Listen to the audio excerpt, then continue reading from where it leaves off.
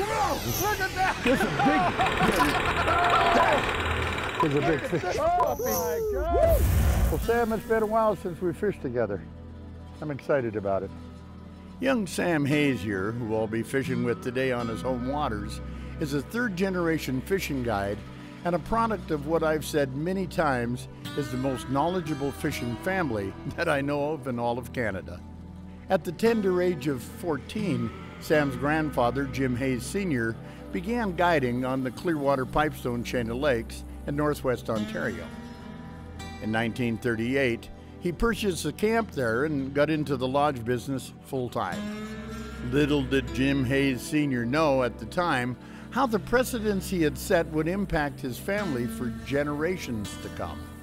I first met Jimmy Hayes Jr., who I might add also started guiding clients with his father at the age of 12 on Pipestone Lake in 1977.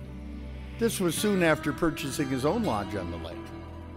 At the time and over the coming years, I was just breaking into the wide open frontier of TV fishing.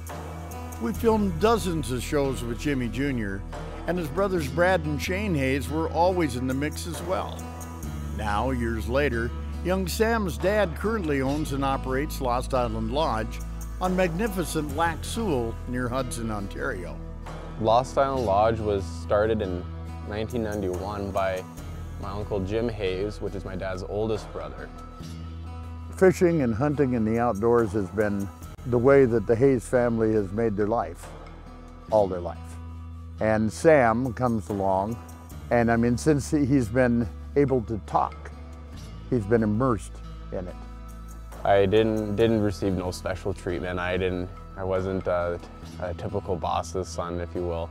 So I started from the bottom of the totem pole, and there isn't a job there I haven't done. And then now I am the one of the full-time guides there, and just waiting for waiting for my spot at the top now. The entire Hayes clan still winters and calls the Clearwater Pipestone chain home. In fact, a number of years back, as a teenager, Sam guided me on the lake of his heritage. Good fish? Good fish. It was pretty exciting to come up here and fish with Babe. And at the time, to make it even more special, that's a fat fish. That's a lot bigger than the big walleye. I caught my biggest walleye to date while fishing with him. That's your biggest walleye of your life? Biggest walleye of my life. Oh, he was so happy, and I was so happy for him. I'm not sure who was more excited, me or Babe. Oh, see? There you go. You hang around with the right crowd and good things happen. so last fall, now even older, more experienced, and wiser in the ways of fishing and guiding, once again I made the trip to fish with young Sam Hayes on Pipestone Lake. And welcome home, babe. A run down Clearwater Lake ends with a unique portage that dates way back. First time I ever got to this portage, I took a look and I said, what in the heck is this now? It's a little railroad car that comes down on tracks and you drive your boat up onto it and it takes you up over and dumps you in the next lake.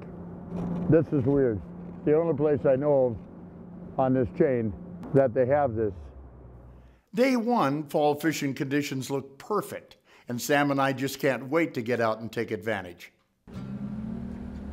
Well, this time of the year, we're up here in mid-October, and just from years of experience, I know that there's two ways that work the best. One is a jig in a good-sized minnow, and the other one is a live bait rig in a good-sized minnow. I just flipped the cast up on top of the reef, Sam, and never even hit bottom.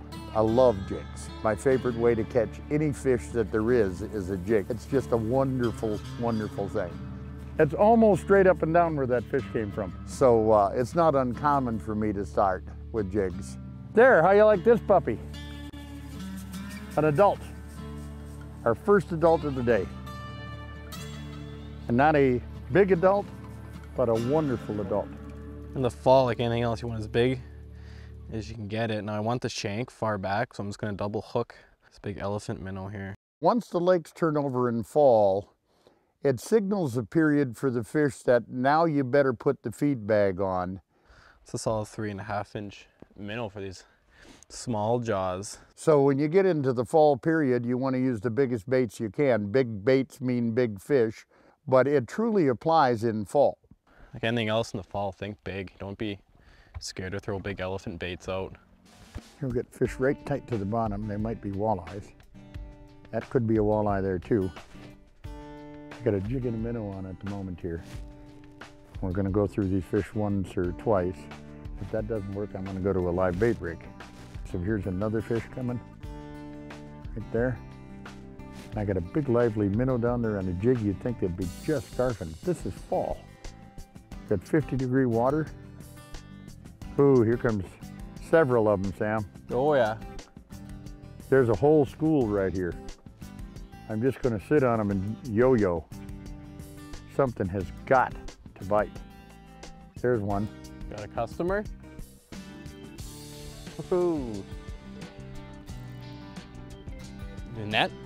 Um, probably. I'm gonna guess walleye. Is it a little gold? Oh! Yes, that's a walleye. Oh yeah! Had to be with the, with the number of fish that are down there on that screen. And he just, boom. Isn't at that, that. pretty? That is, see, that's one of the things that I love about this lake is the color of the walleyes. They're so, that came out pretty easy. So gold, so beautiful. And chunky. as a beautiful fish. Ooh. I love it when you set the hook and the drag goes. Do I have to come back up there? Yes, sir. I'm on my way. This is not as big. Oh, oh, big old smallmouth out there in the middle of all that. Hello, sweetheart. See, there's nothing better than the month of October. You can catch everything in October. And the nice things too about October is most guys are starting to head for the trees, you know? Oh yeah, The lake's quiet way down. There's no jet skis. There's no no other fishermen out there. It's boy, I thought the way that one first went thump, that was a walleye. it's almost fun kind of guess, you know, after you hook them. Is it a walleye? Or is it a, is it a big walleye? Or is it a big bass? Mm-hmm. And they're all schooled up together. Which is kind of unusual, except in fall. Yeah. Everything's moving out to these reefs for the stock well, they move winter. out of all the bays and everything, and the smallmouth winter real deep. Mm-hmm. Um, you know, oh man. Somebody's gonna get bit, Sam. There we go. Big fish. Big fish?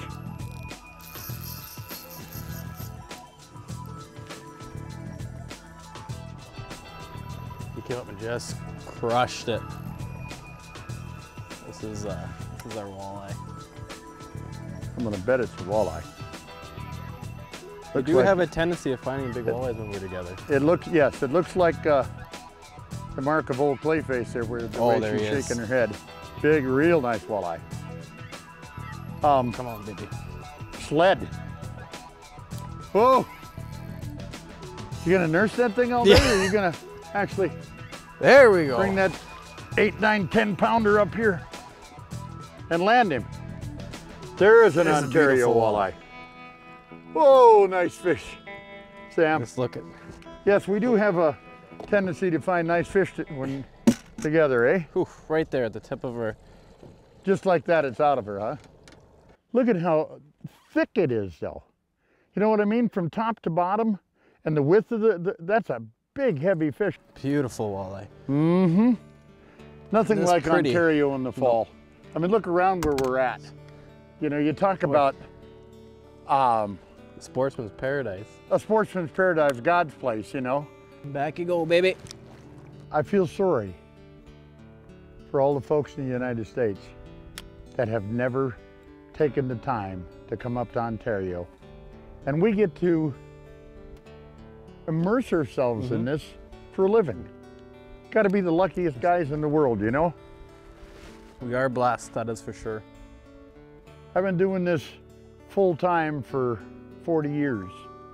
And I still, I got to pinch myself every Mhm. once in a while. You know, is this really happening? It's amazing. Ooh, there's a good walleye on the screen there.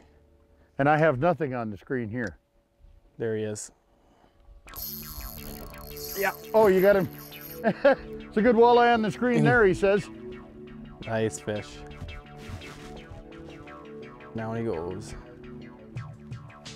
This is uh, putting a bend in the in the Croix, that's for sure. little back reel action here. Ooh, big head shakes. Now, if it was anybody but you, Sam, or uh, your dad or your uncle, I'd be saying, do this, do this, do this. yeah. But I have often said the Hayes family is the knows more about fishing and they're better fishermen than anybody else I've ever met from the country of Canada. And that's a quite a statement That is to a, make. I was just, but that is that is quite the statement. Thank you. But I, I, I believe it in my heart and I know it to be true. Growing up, we uh, I got to listen to all the stories Oh, from my, my dad and my uncles about about fishing with Babe Dark gold she is. You are just pretty. and making the shows and you know all the adventures they had on Pipestone and Lac-Seul. Oh, this is a fish. Oh, that didn't move a whole lot. No, sir. I was a young, young, young kid. I don't know. I must have been three, four. Oh, Big old smallmouth, I nice think. brownie, yeah. I had my mom help me. Well, she did the typing for Beautiful. Ooh, yeah, emails and letters that I sent to Babe. perfect. Big walleyes and big smallmouth on the Come same baby. spot. Beautiful fish. Yes. I started getting letters from Sam. He wanted to learn about fishing so much and sweetheart, huh? We've just been very, very close ever since. Developed into a pretty special relationship. Ooh, babe. Sam's turned into the model student of his Uncle Jim and his dad Shane, Hit it like it was this, like it would have been a little guy. who have been hardcore outdoorsmen all of their life, like their father was. And Sam is the collective result of that. Beautiful. Wally again? This is a walleye. Big old marble eye. He's an unbelievable fisherman, unbelievable hunter, and he's just a young man of 23 yet. He's just coming into his prime now. So uh, if you ever get the chance to fish with him, I promise you'll never regret it. It's a big fat fish again. Doesn't get much better than this, that's for sure. Continuing now up at Pipestone Lake in northwestern Ontario with Sam Hayes, we awake to a major October cold front that's got us both wondering what that's going to do to the bite. The term cold front have any meaning in your vocabulary? It does in ours. Only we've now got a northeast wind, not a northwest wind, which is generally not a lot of fun. You see your breath a little bit. It's only dropped like 40 degrees since yesterday. Thundered and lightning like crazy last night. And it's our last day here. So we'll see. We started out, it was, you couldn't ask for any better weather. It, it was gorgeous and warm. And then all of a sudden, poof, we have this weather change and it got, cold, it got windy. And, and usually that's not good. You start with a jig or a rig? I got a rig. Yeah, me too. We were using live bait rigs with the super huge sucker minnows, or Mr. Chubby Lips, I like to call them. And we couldn't keep them off. Down. Whatever it oh, is. Oh, I got just- one too. Pardon? I got a night bite too.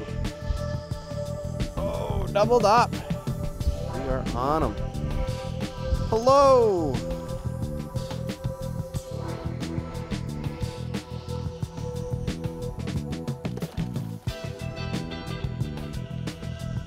He just ate it. Nice smallmouth. Beautiful. Bye-bye. That's a very good sign. Just like that, bang, bang. Usually a guy thinks, well, the cold front comes through in summer and, you know, and, and knocks the fish off. But that is not necessarily the case in fall. Oh, there's a customer. Give him a little second there with it. Oh, hello, Mr. Smallmouth. Most of the fish were holding Up fairly close to the bottom and weren't aggressive. Woo! And we tried different lengths of live bait rig snells, anywhere from two and a half feet on up to as, as much as about seven feet. Nice fall smallmouth. But with as light as the fish were hitting and as close as they were to the bottom, Booyah. it didn't take us too long to figure out that about a two or two and a half foot snell. Ooh, that's reset better here. fish. Is that a little better uh, brownie there? Yes.